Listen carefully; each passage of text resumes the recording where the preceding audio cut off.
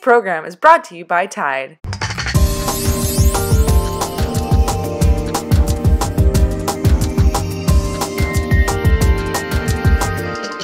Hot topic eyeliner, skinny jeans. Where do the emo species go? By the mid 2000s, suicide anthems were on the airwaves, airwaves, and wrists were being slit across the street instead of down the river.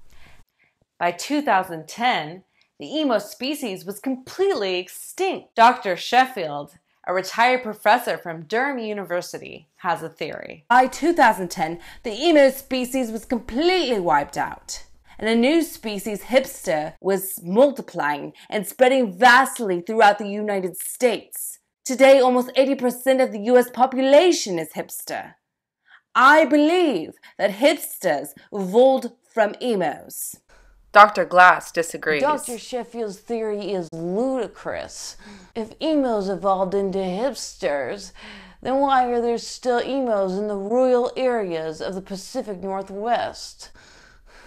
Dr. Sheffield's theory was lacking evidence, so she took an expedition to Silver Lake, California, the most populated hipster city in Southern California. Within her first 30 seconds, she found a link that would change everything. Today's program is brought to you by Tide.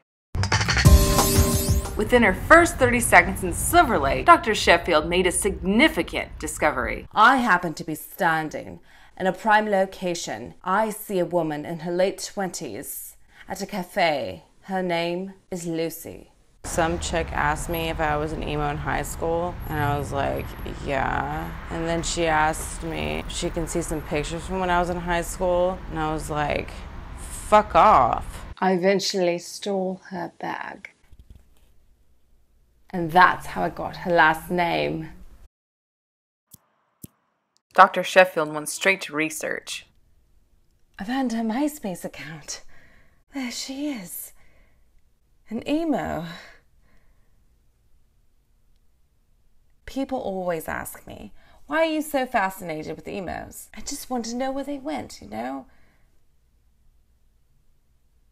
Lucy is the missing link. From this chart, we see that in 2001, goth were at every smoking corner. In 2003, they evolved by allowing their dark thoughts to appear into running mascara. In 2008, their vulnerability evolved them into emo metagenes. After years of medication, in 2010, they evolved into emo Neanderthal hipster sapiens. Finally, today we have a mellow, nature loving, emo hipster sapien. If Dr. Sheffield's theory is accurate, then who created the goth casseurs?